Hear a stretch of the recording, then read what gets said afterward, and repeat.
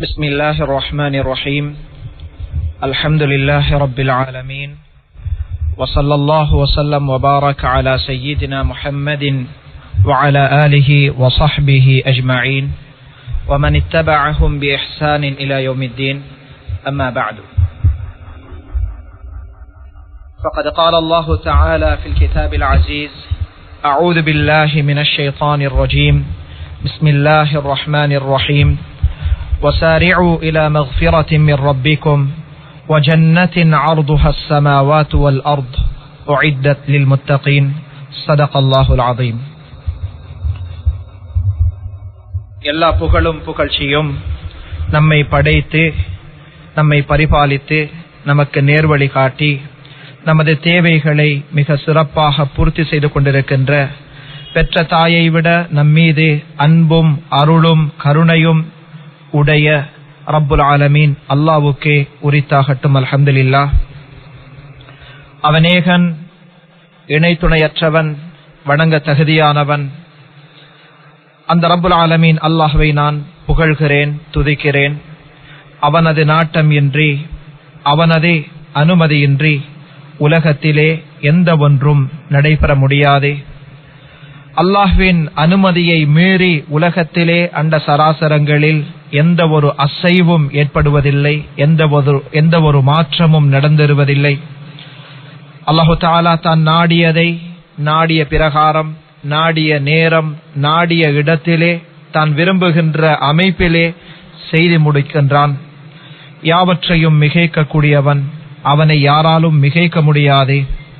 யாவற்றின் மீதும் செல்வாக்கு மிக்கவன் உள்ளங்களை ஆட்சி செய்கிறான் உடல்களையும் ஆட்சி செய்கிறான். அவனது ஆட்சியே உலகிலே மேலோங்கியது. அவனது நாட்டமே உலகத்திலே நடந்தேறுகிறது அடியார்களை மனிதர்களை படைத்து அவர்களது தேவைகளை மிக கச்சிதமாக மிக சிறப்பாக மிக அழகாக செய்து முடிக்கக்கூடியவன். மனிதர்கள் மீது அவர்களை பெற்ற பெற்றோர்களை விட அவர்களோடு இருக்கிற அவர்களது உறவினர்களை விட மனிதர்கள் மீது அன்புள்ளவன் கருணையுள்ளவன் கிருபையுள்ளவன் மனிதர்கள் மீது பரிவுள்ளவன்.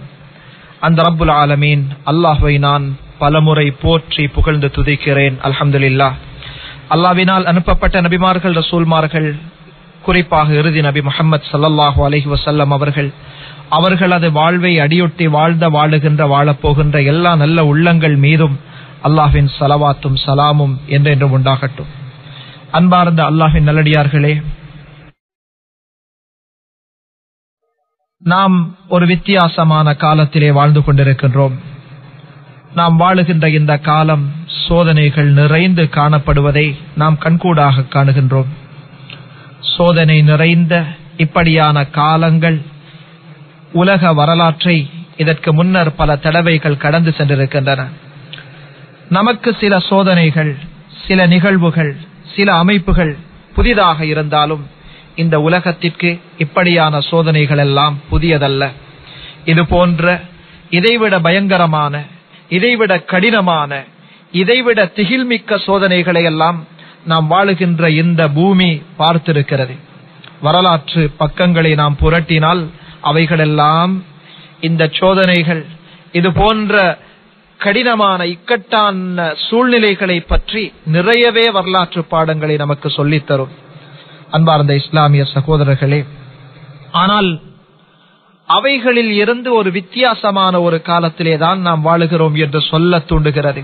காரணம் இன்றைய நாள் வெள்ளிக்கிழமை. ஜுமாவுடைய தொழுகைகளை கொண்டு பள்ளி வாயல்கள் எல்லாம் அலங்காரம் பெறுகின்ற இந்த வெள்ளிக்கிழமை தினத்திலே இலங்கையின் பள்ளிவாசல்கள் பல மூடப்பட்டிருக்கிறது.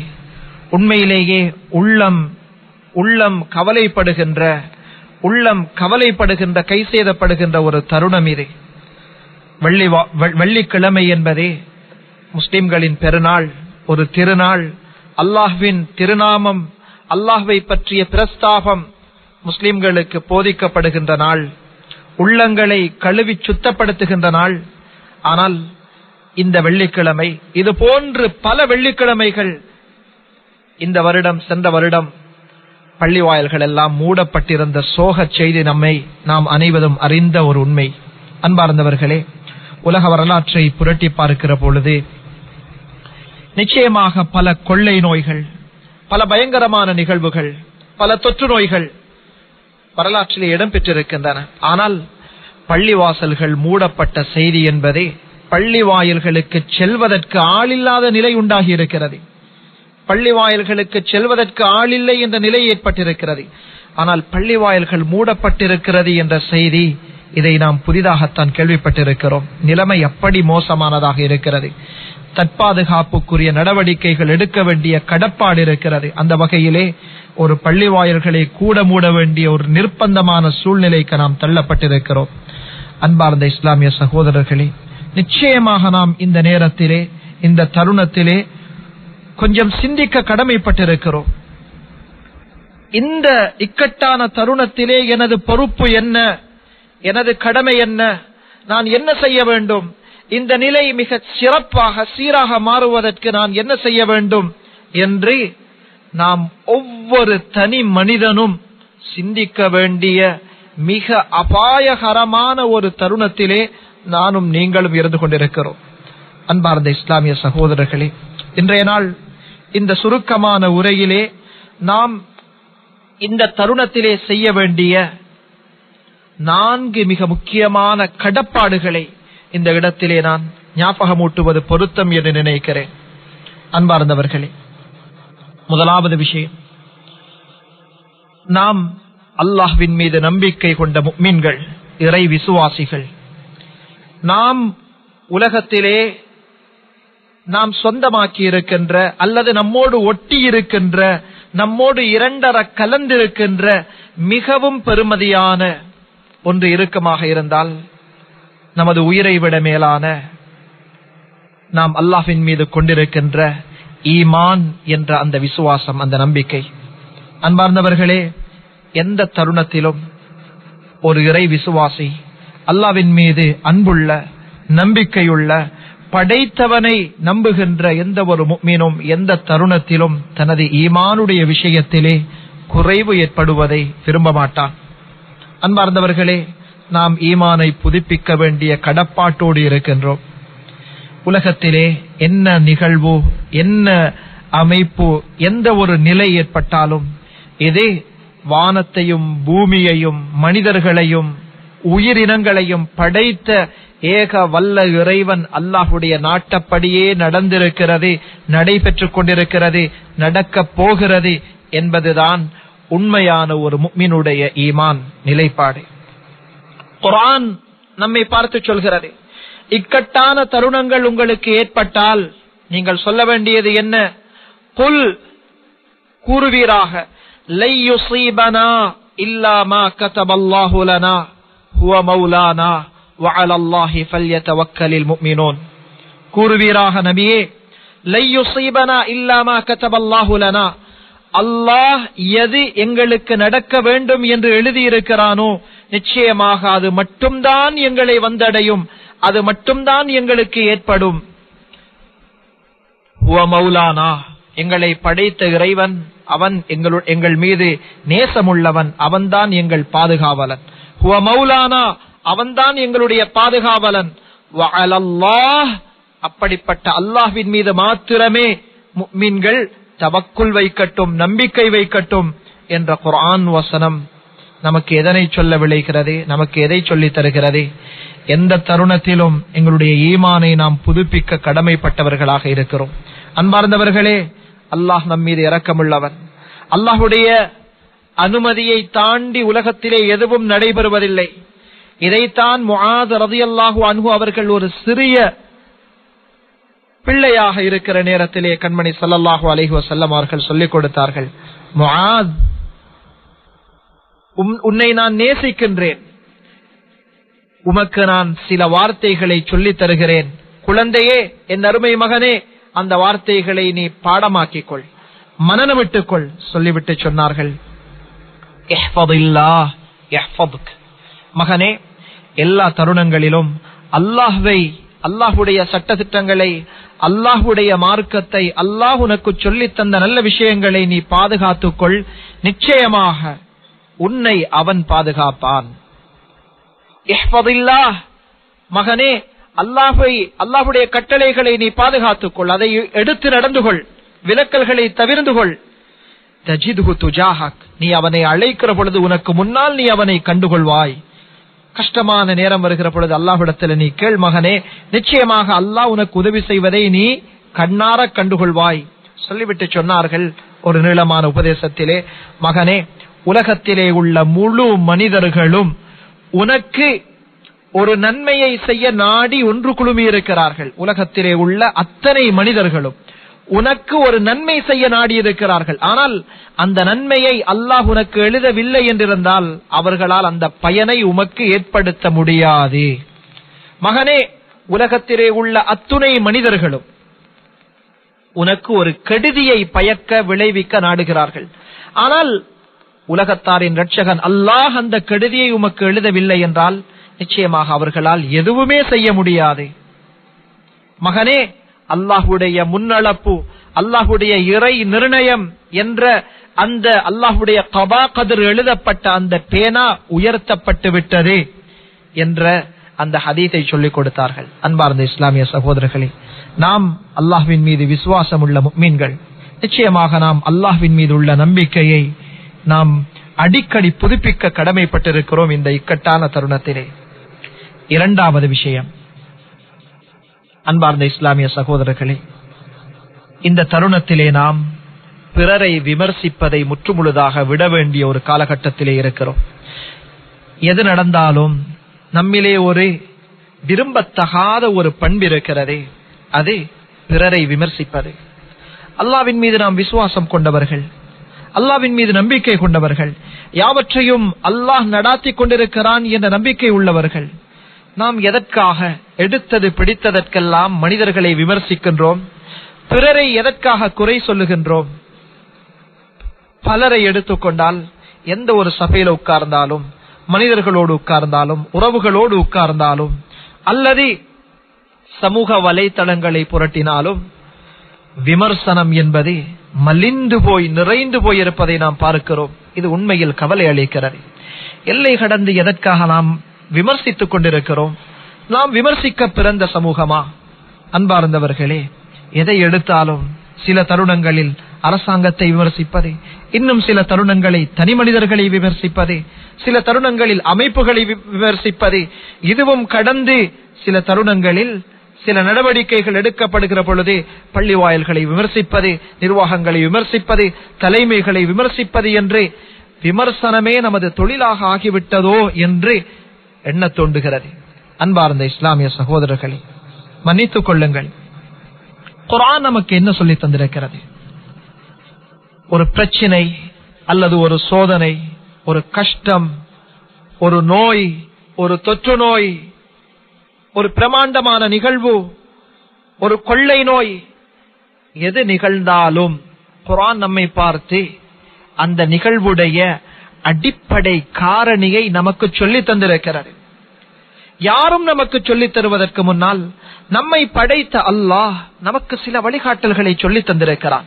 நமது குரான் என்ன தெரியுமா சொல்லி இருக்கிறது மனிதர்களே மீன்களே உங்களுடைய மனதுக்கு விருப்பமில்லாத ஒரு விஷயம் நடந்திருக்கிறது என்றால் உங்களுக்கு கஷ்டமான நெருக்கடி ஒன்று நடக்கிறது என்றால் அதில் உங்களுக்கு சம்பந்தம் இருக்கிறது நீங்கள் அதிலே அகப்பட்டிருக்கிறீர்கள் என்றால் நிச்சயமாக அது நீங்கள் செய்த ஒரு வினையின் எதிர்வினை என்பதை குரான் நமக்கு திட்ட தெளிவாக சொல்லி இருக்கிறது அல்லவா ஒமா அசாபக்கும் மிம் முசீபத்தின் பபிமா கசபத் ஐதீக்கும்.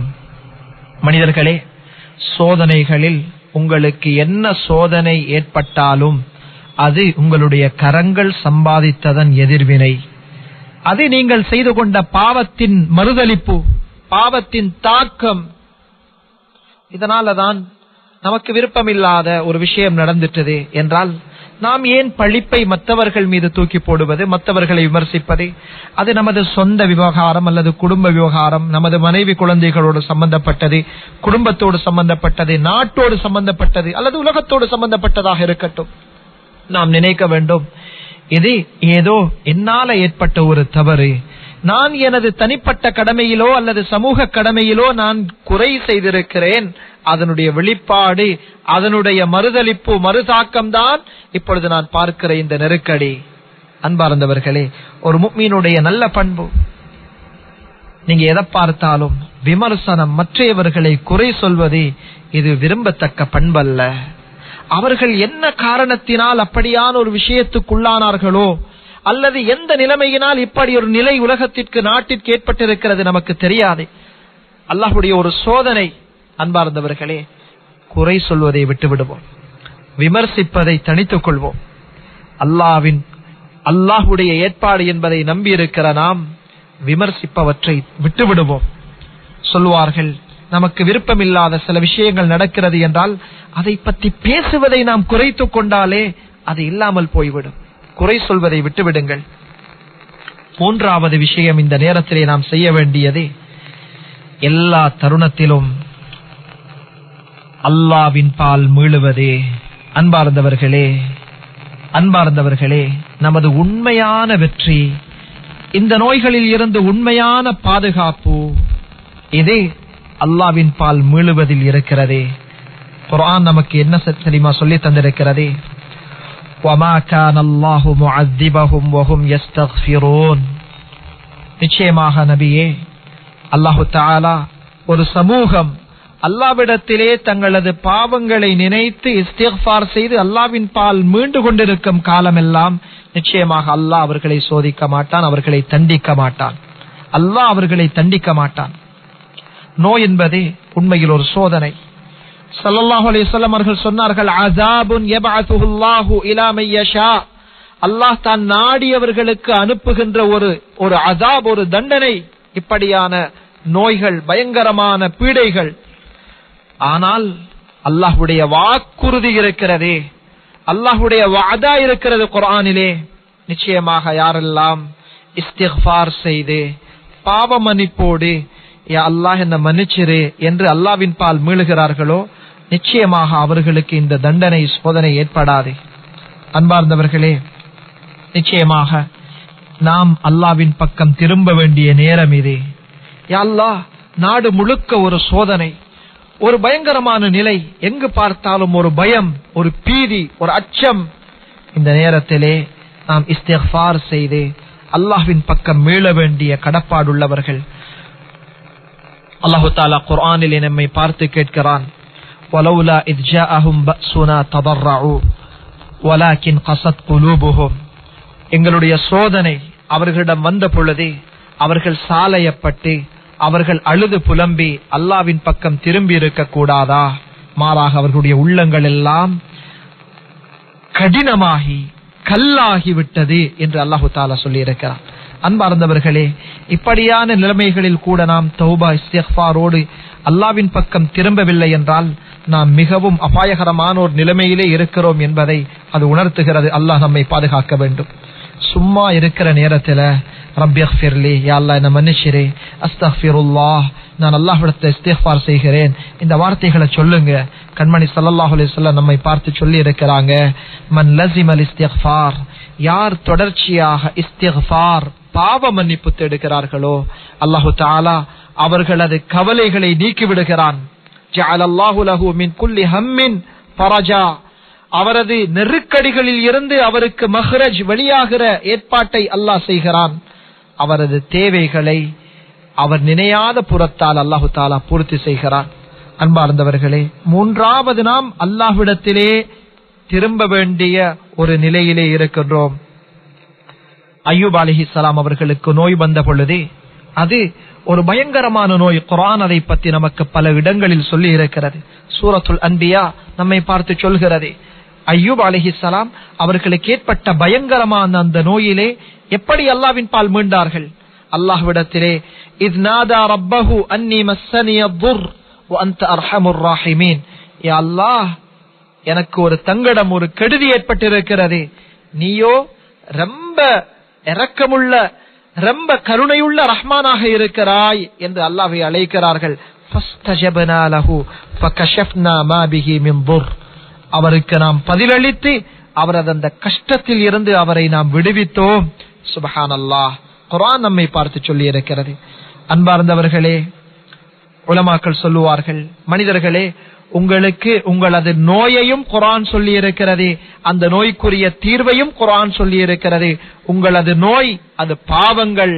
உங்களது தீர்வு அது இஸ்திஃபார். அந்த நோய்க்குரிய மருந்து அது இஸ்திஃபார். அல்லாஹ்விடத்துல இந்த நேரத்துல வீட்டில் இருக்கிற பெண்கள் கடையில் இருக்கக்கூடிய ஆண்கள் காரியாலயங்கள் ஆபீஸ்கள்ல இருக்கக்கூடியவங்க சும்மா இருக்கிற நேரத்துல நீங்க சொல்லக்கூடிய இந்த இஸ்திஃபார் இருக்கிறதே அல்லாஹோடு உங்களை நெருக்கப்படுத்தி கொண்டே இருக்கும். திடீரென்று மரணம் வந்துட்டு வைங்க. உங்களோட பட்டோலைகள்ல நீங்க பார்த்து ரொம்ப சந்தோஷப்படக்கூடிய ஒரு ஐபாதத் இஸ்திஃபார் பாவ மன்னிப்பு அன்பார்ந்தவர்களே துனியாவுல உங்களை பாதுகாக்குது அதாபுல நோவினைகள்ல வேதனைகள்ல தண்டனைகள்ல நோய்கள்ல இருந்து இஸ்திஃபார் எங்களை பாதுகாப்பதை போல அல்லாஹோடு எங்களை நெருக்கமாக்கி கொண்டே இருக்கிறது.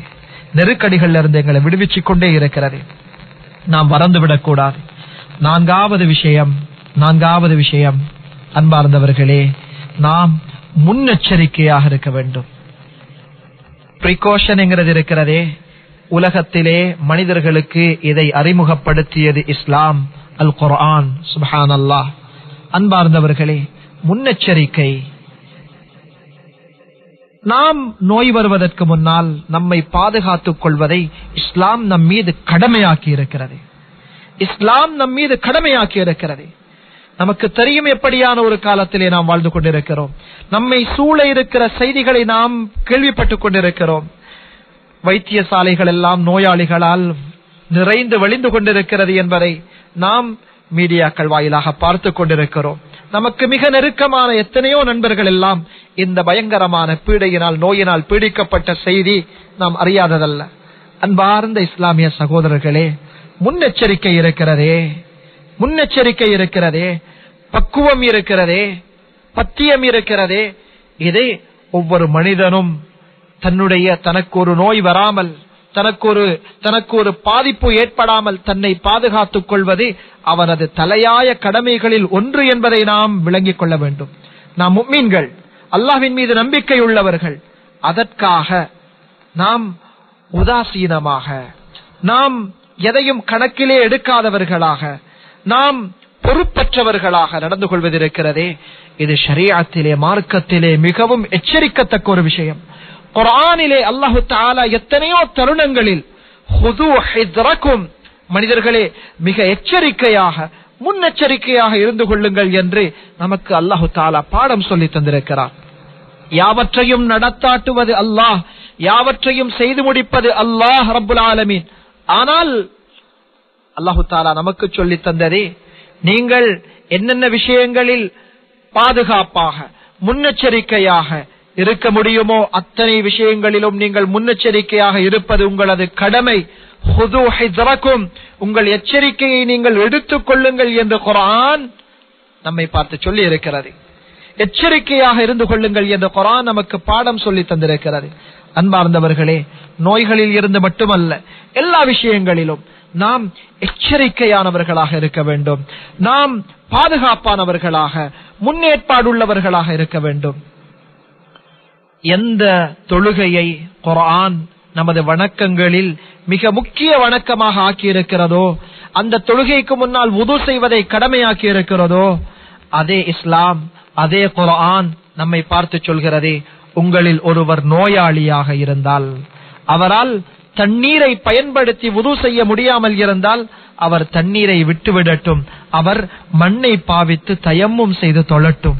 சுஹானல்லா எந்த குரான் நமக்கு நோன்பு நோட்குமாறு பணித்திருக்கிறதோ அந்த குரான் நம்மை பார்த்து சொல்கிறதே மின்கும் மரியவன் உங்களில் ஒருவர் நோயாளியாக இருந்தால் அல்லது பயணத்திலே இருந்தால் அவர் ரமலான் மாதத்து நோன்பை விட்டுவிடட்டும். இன்னும் ஒரு நாள் அதை அவர் ஈடு செய்து கதா செய்து கொள்ளட்டும். சுபானல்லா யார் இந்த முன்னெச்சரிக்கை முன்னேற்பாட்டை நமக்கு சொல்லி தந்தது? இதுதான் இஸ்லாம் நமக்கு காட்டித் தருகின்ற பக்குவம். பத்தியம் முன்னேற்பாடு பிரிகாஷன் அன்பார்ந்த இஸ்லாமிய சகோதரர்களே இஸ்லாமிய வரலாறு நெடுகிலும் நாம் இதை பார்க்க முடியும்.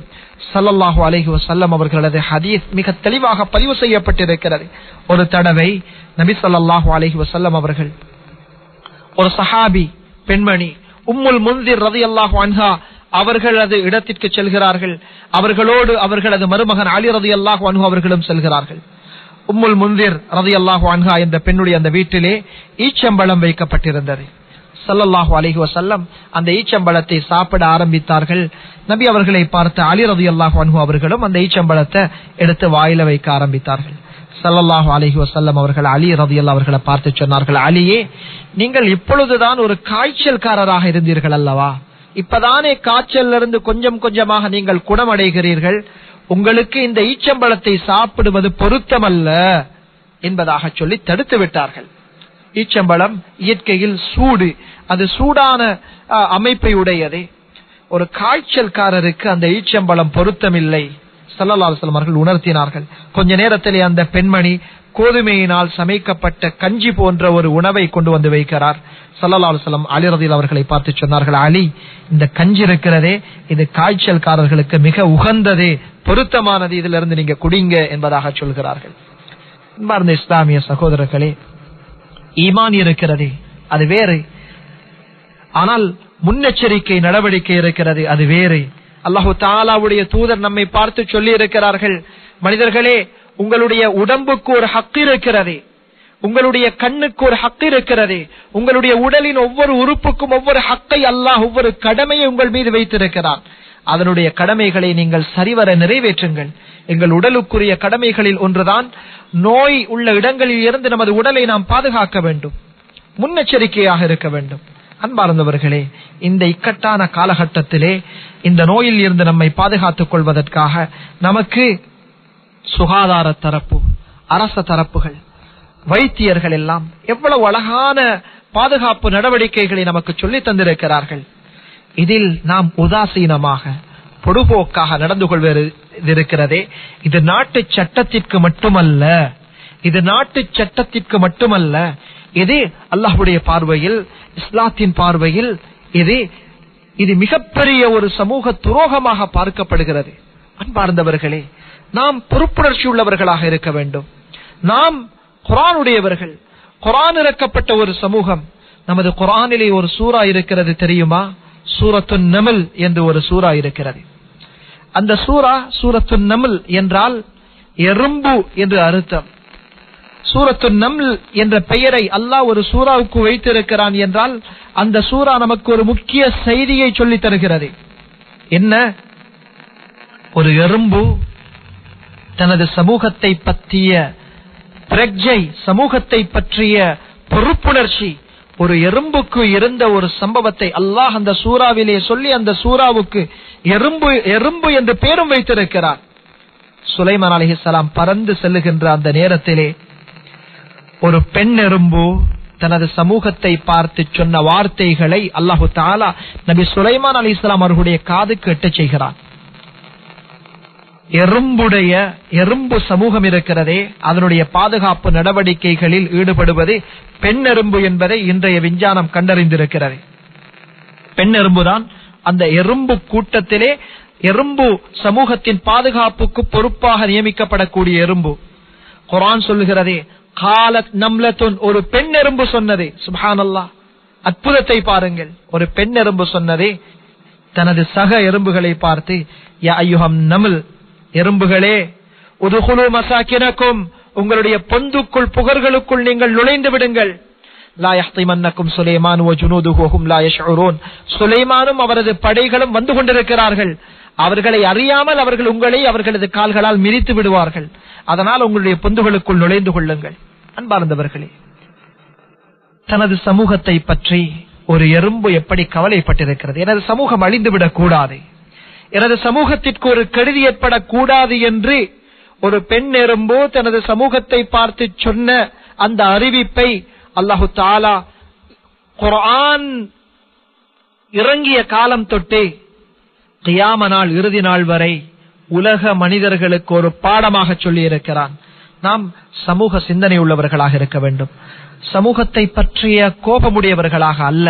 சமூகம் தவறு செய்கிறார்கள் என்பதற்காக சமூகத்தை விமர்சித்து அவர்களை கோபம் கோப பார்வையோடு பார்க்கிற தலைவர்களாக அல்லது சமூக பொறுப்புள்ளவர்களாக அல்ல. மாறாக சமூகத்தின் மீது அன்பும் பரிவும் கருணையும் சமூகத்தை சரியாக வழிநடாத்த வேண்டும் என்ற அந்த இரக்க சுபாவம் உள்ள சமூக பொறுப்புள்ள மனிதர்களாக நாம் மாற வேண்டிய தருணம் இது. அன்பார்ந்தவர்களே இதே போன்றுதான் நாம் வெள்ளிக்கிழமை ஓதுகின்ற சூரத்துல் கஃபும் நமக்கு ஒரு செய்தியை சொல்லி இருக்கிறது அந்த குகைவாசிகளான வாலிபர்களோடு சென்ற அந்த நாய் ஒரு நாயை பற்றியும் குரான் பேசியிருக்கிறதா? ஆம். அந்த நாய் தனது இரண்டு முன்னம் கால்களையும் அவர்களது குகைக்கு முன்னால் விரித்து அந்த நாய் படுத்து உறங்கிக் கொண்டிருக்கிறது. எதற்காக? அந்த குகைவாசிகளான வாலிபர்களை பாதுகாப்பதற்காக. நாய் தனது பொறுப்பை செய்திருக்கிறது. குரான் அந்த நாய் செய்த பொறுப்பை கூட மறக்காமல் நமக்கு சொல்லி தந்திருக்கிறது. நமது பொறுப்பு இந்த நேரத்திலே நோய் பரவி கொண்டிருக்கிறது. நோயை பற்றிய பயம் மனிதர்களுடைய உள்ளத்திலே குடிகொண்டிருக்கிறது. இந்த நேரத்திலே நாம் உதாசீனமாக நடந்து கொள்வது இருக்கிறதே இது நமக்கு மட்டுமல்ல நாம் சமூகத்திற்கு நமது நாட்டிற்கு செய்கிற துரோகம்.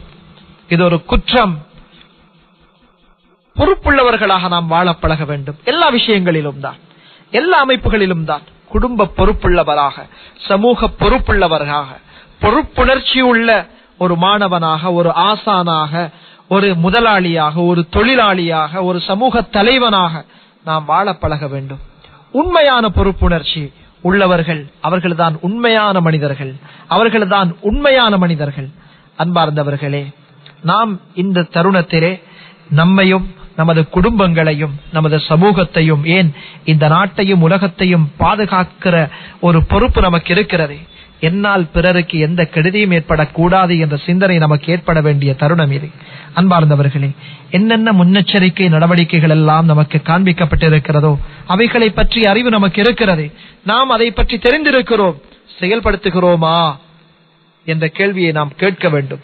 செயல்படுத்த தவறினால் நிச்சயமாக நாம் தவறு செய்கிறோம் என்பதை உணர வேண்டும். அன்பார்ந்தவர்களே அன்பார்ந்தவர்களே கவனமாக இருந்து கொள்ளுங்கள். மிக கவனமாக இருந்து கொள்ளுங்கள். நாம் அணிகிற இந்த முகக்கவசமோ இந்த மாஸ்க் அல்லது நாம் பேணுகின்ற இந்த சமூக இடைவேளை சில தருணங்களில் பள்ளிவாயல் மூடியிருக்கிறது நாம் வீட்டிலே நிர்பந்தமாக தொழுகின்றோம் நிச்சயமாக அல்லாஹ் நமது கூலிகளை நிரப்பமாக தருவான். நாம் விமர்சிப்பதை விட்டுவிட்டு நாம் பாதுகாப்பாக இருப்பதோடு நமது சமூகத்தையும் பொறுப்புணர்ச்சியுடன் வழிநடாத்த வேண்டிய கடப்பாட்டோடு இருக்கிறோம். அதனால் தலைமைகளுக்கு கட்டுப்படுங்கள். நாம் கட்டுப்பட்டு நடக்க வேண்டிய சமூகம். அல் ஹிலாஃபு ஷர்ருன் எப்பொழுதும் நாம் எப்பொழுதும் ஒரு விஷயத்தை மனதிலே வைத்துக் கொள்ள வேண்டும். சமூகத்திலே பிரச்சனைகளை தூண்டக்கூடியவர்களாக சமூகத்திலே பித்னாக்களை உருவாக்கக்கூடிய ஃபத்தான்களாக பித்னாக்காரர்களாக குழப்பவாதிகளாக நாம் இருந்து மரணித்தால் நிச்சயமாக நம்மை எத்தனையோ நாவுகள் சாபமிடும். அன்பார்ந்தவர்களே நாம் குழப்பத்தை ஏற்படுத்துபவர்கள் அல்ல நாம் ச- சமாதானத்தை சுமூகமான வாழ்வை சாந்தத்தை பரப்புபவர்கள் என்பதை மறந்துவிடக் கூடாது. எப்பொழுதும் ஆரோக்கியமான வழிபட்டு வாழக்கூடிய சிறந்த சமூகமாக நாம் இருக்க வேண்டும். கட்டுப்படுதல் என்பதே பெற்றோருக்கும் தான் கணவனுக்கும் தான் தலைவர்களுக்கும் தான் கட்டுப்படுவது என்பதே ஒரு முக்மினுக்கு இருக்க வேண்டிய மிக முக்கியமான பண்பு என்பதை நாம் மறந்துவிடக் கூடாதே. அன்பார்ந்தவர்களே நாம் பாதுகாப்பாக முன்னெச்சரிக்கையாக இருந்தும் கூட இந்த நோய் அல்லாஹ் நம் அனைவரையும் பாதுகாக்க வேண்டும். ஏற்பட்டு விட்டது என்றால் மருந்து செய்வதற்கு தயங்காதீர்கள். மருந்து செய்வதற்கு தயங்காதீர்கள். மருந்து செய்வதே நோய்க்கு நோய் குணமாவதற்காக முயற்சிப்பதே அதற்குரிய மருந்து மாத்திரைகளை நாம் பாவிப்பது இது நமது வாஜிப் என்பதை நாம் உணர்ந்து கொள்ள வேண்டும். கண்மணி ஸல்லல்லாஹு அலைஹி வஸல்லம் எப்படி அழகாக எடுத்துரைத்து இருக்கிறார்கள் லம் மனிதர்களே அல்லாஹ் எந்த ஒரு நோயை இறக்கினாலும் அதற்குரிய மருந்தையும் இறக்கி வைத்திருக்கிறான். அதை சிலர் அறிகிறார்கள் சிலர் அறியாமல் இருக்கிறார்கள். ததாவோ இபாதல்லா அல்லாஹ்வின் அடியார்களே நீங்கள் மருந்து செய்து கொள்ளுங்கள். நம்மை பார்த்து நமது உயிரிலும் மேலான தூதர் ஸல்லல்லாஹு அலஹி வசல்ல நமக்கு போதித்திருக்கிறார்கள். மருந்து செய்வதில் களவு செய்யாதீர்கள். அது நமது உடம்புக்கு நாம் செய்ய வேண்டிய கடமை நமது பொறுப்பு. மருந்து செய்ய வேண்டும். அன்பார்ந்தவர்களே என்னென்ன மருந்து மாத்திரைகள் இருக்கிறதோ என்னென்ன அமைப்புகள் இருக்கிறதோ நல்ல வழிகாட்டல்கள் இருக்கிறதோ அதை பின்பற்ற வேண்டும். உலமா கண்மணி ஸல்லல்லாஹு அலஹி வசல்லம் அவர்கள் நம் மீது கொண்ட அன்புடைய விளைவு நம்மை பார்த்து சொன்னார்கள். கருஞ்சீரகம் இருக்கிறதே இந்த பிளக் சீட் என்று சொல்லக்கூடியது. அதற்கு ஹப்பத்துல் பரக்கா பரக்கத்துக்குரிய விதை என்றும் ஒரு பேர் இருக்கிறது. புகாரி முஸ்லிம் ஷரீஃப்களில் ஏகப்பட்ட ரிவாயத் ஹதீத்கள் இருக்கின்றன. மரணத்தை தவிர எல்லாவற்றுக்கும் அதிலே நிவாரணம் இருக்கிறது சுப்ஹானல்லாஹ். இது போன்று இன்னும் பல மருந்துகள் இருக்கிறது. ஆங்கில மருந்துகள் இருக்கின்றன. இவைகளை நாம் எடுத்து நமது நோய்க்குரிய தீர்வை நாம் அடைந்து கொள்வது நமது கடமை என்பதை நாம் உணர்ந்து கொள்ள வேண்டும். அன்பார்ந்தவர்களே ஒரு அற்புதமான மருந்தும் இருக்கிறது. அதனையும் இந்த தருணத்திலே நாம் செய்ய கடமைப்பட்டிருக்கிறோம். அது என்ன தெரியுமா? சல்லாஹ் அலைஹி வஸல்லம் சொன்னார்கள் தாவு மர்பாக்கும் சதகா உங்களுடைய நோயாளிகளுக்கு சதக்கா மூலம் நீங்கள் சுகமளியுங்கள். அவர்களுக்கு நிவாரணம் கொடுங்கள் மருந்து செய்யுங்கள். சதக்கா இருக்கிறதே. சதகா ஒரு முக்மினுடைய ஒரு முஸ்லிமுடைய நோயை போக்கிவிடும். அல் இஹ்சானு இலல் பிறருக்கு உபகாரம் செய்யுங்க. நோய் வந்துட்டது இக்கட்டான நே- நேரம் எத்தனையோ நண்பர்கள் கோல் பண்றாங்க. எத்தனையோ நண்பர்கள் வைத்தியசாலையில. சுபஹான் அல்லா உண்மையிலேயே உங்களுக்கு அவர்கள் மீது பரிவு அன்பு இருந்தால் அவர்களுக்காக சதகா செஞ்சுட்டு அல்லாட்ட கேளுங்க. நிச்சயமாக இன்ஷா அல்லாஹ் அல்லாஹுடைய ஏற்பாடு இருந்தால் அல்லாஹ் அவர்களுக்கு வேகமான சுகத்தை கொடுப்பான். அசதகா ததுஃபா மசாரி அசு ஒரு ரிவாயத் வந்திருக்கிறதே சதக்கா செய்வதிருக்கிறதே கெட்ட மரணங்களில் இருந்து உங்களை பாதுகாக்கும். இந்த ஹதீத்தை அறிவித்த இமாம் ஹாக்கிம் ரஹமஹுல்லா முஸ்தரக்கூடிய முசன்னிப் சொல்றாங்க என்னுடைய முகத்திலே ஒரு பயங்கரமான பொக்குளம் போன்ற ஒரு அமைப்பு ஒரு நோய் ஏற்பட்டு ஒரு வருட காலமாக நான் கஷ்டப்பட்டேன். எத்தனையோ மருந்துகள் செய்தேன். கடைசியாக ஒரு வருட காலத்திற்கு பிறகு அந்த முகத்தில் ஏற்பட்ட பரு அந்த அந்த கொப்புளம் அதுக்குரிய மருந்தாக நான் என்னுடைய வீட்டுக்கு முன்னால தண்ணீர் மனிதர்கள் தண்ணீர் குடிப்பதற்குரிய ஒரு தண்ணீர் தாங்கி ஒண்ட கட்டி நான் தண்ணீரை ஊற்றி ரோட்ல போற வாரவங்க அந்த தண்ணீரை குடிக்கட்டும் என்று ஒரு ஏற்பாடு செய்தேன். இந்த நோய் குணமாகணும் என்று. சொல்றாங்க ஒரு கிழமை போகல என்னுடைய நோய் முற்றாக பூர்த்தியாகி இருந்ததை விட அழகான முகத்தை அல்லாஹு தாலா எனக்கு கொடுத்தார் அன்பார்ந்தவர்களே இந்த நேரத்துல நோய்வாய்ப்பட்டவர்கள் இருப்பார்கள். அவர்களுக்கு ஆறுதல் சொல்லுங்க. பயப்பட தேவல்ல அச்சப்பட தேவல்ல. ஆறுதல் சொல்லுங்க. ஒரு முக்மினுடைய உள்ளத்தை சந்தோஷப்படுத்துவது இருக்கிறதே அல்லாவுக்கு மிகவும் விருப்பமான இபாதத்து என்று குரான் நமக்கு சொல்லி இருக்கிறது சுன்னா ஹதீஸ் நமக்கு சொல்லி இருக்கிறதே நல்ல செய்திகளை மக்கள்கிட்ட சொல்லுங்க அவங்கள சந்தோஷப்படுத்துங்க பயமுறுத்தாதீங்க பாதுகாப்பாக இருக்க வேண்டிய நேரம் இதே.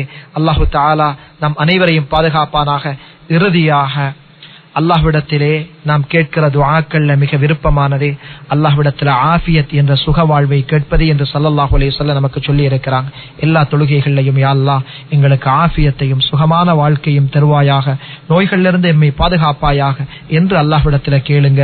நிச்சயமாக அல்லாஹ் நம்மை பாதுகாக்க போதுமானவன். அல்லாஹு தாலா நல்ல அமல்களை செய்யக்கூடிய தோஃபியக்க நசீபாக்குவானாக. ஆஃபியத் என்ற சுக வாழ்வை நமக்கு நசீபாக்குவானாக. வ அனில்